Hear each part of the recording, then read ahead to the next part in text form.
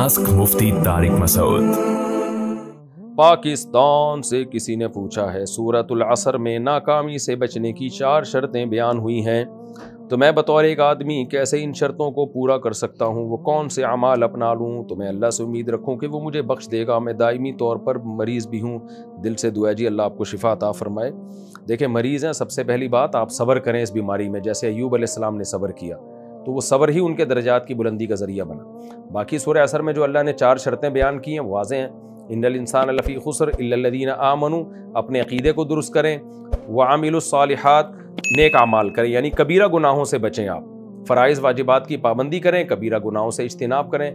فرائض، واجبات اور سنت موقع ان کی پابندی کریں اور کبیرہ گناہوں سے اجتناب کریں۔ و تواصع بالحق، ایک دوسرے کو حق کی تلقین کریں۔ یعنی جس حد تک اسلام کی تبلیغ آپ میں ممکن ہو، جو سوٹیبل طریقہ ہو، آسان طریقہ ہو آپ کے لیے سوٹیبل طریقہ ہو اس کو اختیار کریں۔ حت الامکان تبلیغ کریں۔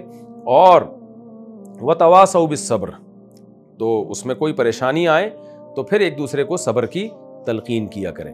تو یہ چار علامتیں پائی جائیں گی تو اعلیٰ درجے کے کامیاب ہوں گے۔ اللہ ہم سب کو کامیاب کرے۔